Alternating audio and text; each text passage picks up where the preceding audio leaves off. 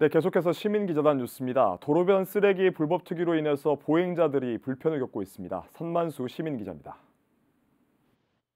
광주 광역시 북구 태봉초등학교에서 경신여자고등학교 사거리에 이르는 도로변에 북구청에서 쓰레기 불법 투기 시 과태료 처분 안내가 있음에도 시민들이 이를 무시한 채 각종 쓰레기를 무단 불법 투기된 현장 모습입니다.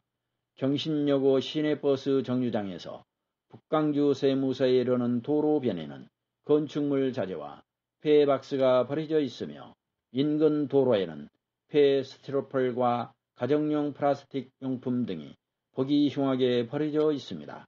광주시 북구 영봉북 어린이공원 숲 안에는 폐 식용유통 등 각종 쓰레기가 보기 흉하게 버려져 있으며 도로에는 폐가재도구가 오랫동안 버려져 방치되어 있으며 폐차되어야 할 트럭이 녹슨 채 앞바퀴가 펑크나 있고 화물칸에는 흉물스러운 물건 등이 실려 있어 미관상 보기에도 좋아 보이지 않습니다. 도심 속 텃밭 주변 언덕에는 과일 껍데기 등 음식물 쓰레기를 몰래 버려져 있으며 각종 쓰레기 등이 주변 언덕에 버려져 있어 도심 미관을 해치는 현장입니다.